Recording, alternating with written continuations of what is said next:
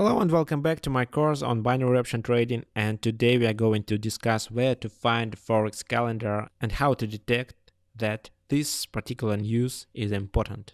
There are a few calendars I like. The first is located at Sigma Option website and it's very easy. I go to their website and open the education tab and choose economic calendar. Here is a list of all events which may have an impact on forex market or on a certain currency pair. You may choose your own time zone, for example GMT plus 7. There are a lot of events, but our task is to choose only these which have a high impact on the market. And of course you should trade only liquid pairs. That's why I suggest to filter these events selecting only that currencies that you trade. New Zealand dollar, United States dollar, Japanese yen, Canadian dollar, Swiss franc, euro, British pound, and Australian dollar. Save. Let me describe what you will see after all those manipulations. First column is a date. It shows a date and the time of a certain event. The second is time left.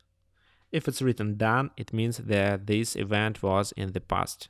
If you see hours or number of days, it means that this event is going to happen in nearest future.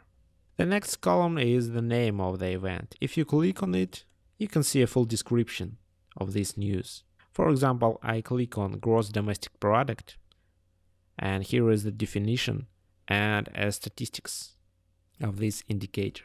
The next column is impact. We choose only events which have a high impact on the market. It means that after publishing this news, the market usually moves upside or downside, but rapidly. Three left columns are specific values of this economic indicator. The first is previous, usually last month value, current forecast,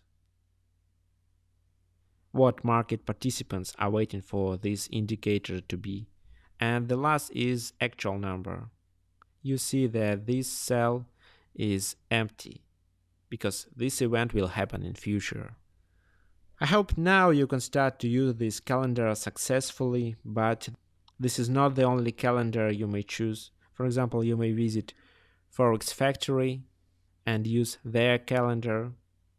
You can also filter events to see only the most important and only that have impact on markets you trade.